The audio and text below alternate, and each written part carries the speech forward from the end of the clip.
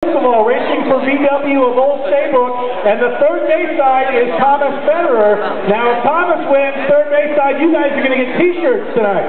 All right, our next racer is his girlfriend Christine Leahy.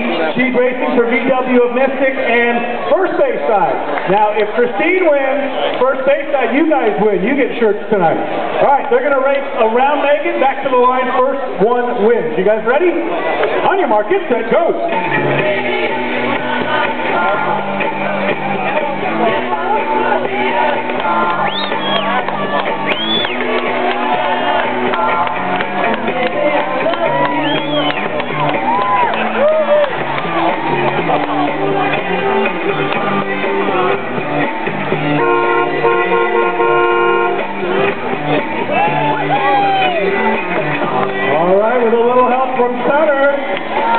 We might get a winner for the first base side. Let's see. Here comes Thomas. Here comes Christine, our winner tonight.